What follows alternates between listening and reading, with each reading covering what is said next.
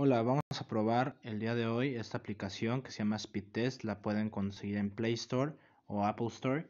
Es para es de las que mejor yo recomiendo.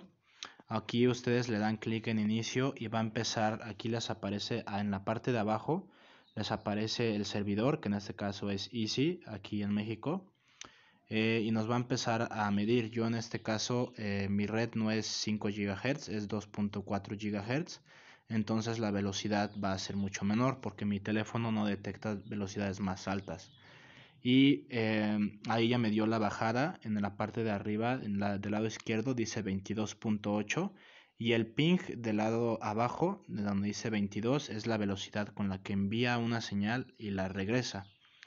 Y de la flecha morada en la parte de arriba del lado derecho dice subida a 5.7 megabytes y así es como ustedes van a poder valorar eh, la calidad de su internet con la ayuda de esta aplicación.